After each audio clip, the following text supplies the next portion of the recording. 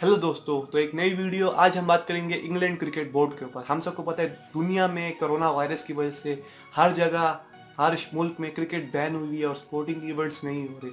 तो अब इंग्लैंड और वेल्स क्रिकेट बोर्ड ने ऐलान कर दिया है कि इंग्लैंड में एक जुलाई तक कोई भी प्रोफेशनल क्रिकेट नहीं खेली जाएगी। वो क्लब लेवल की हो इंटरनेशनल हो इंटरनेशनल मैचेस हो काउंटी गेम्स हो, कोई भी मैचेस हो, एक जुलाई तक इंग्लैंड में कोई भी क्रिकेट नहीं खेली जाएगी। हम सबको पता है कि जून से उनका समर स्टार्ट होता है तो एक महीना डिले हो गया है और इंग्लैंड ने अभी बोला है कि एक जुलाई तक इंग्लैंड में कोई भी प्रोफेशनल क्रिकेट नहीं खेली जाएगी।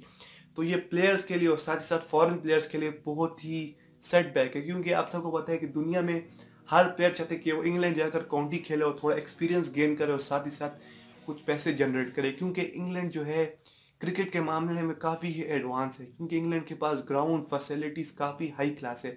तो इस साल इंग्लैंड में क्रिकेट तो हमें देखने को ही नहीं मिलेगी, और इंग्लैंड बोर्ड ने भी ऐलान कर दिया कि एक जुलाई तक इंग्लैंड में कोई भी प्रोफेशनल क्रिकेट नहीं खेली जाएगी।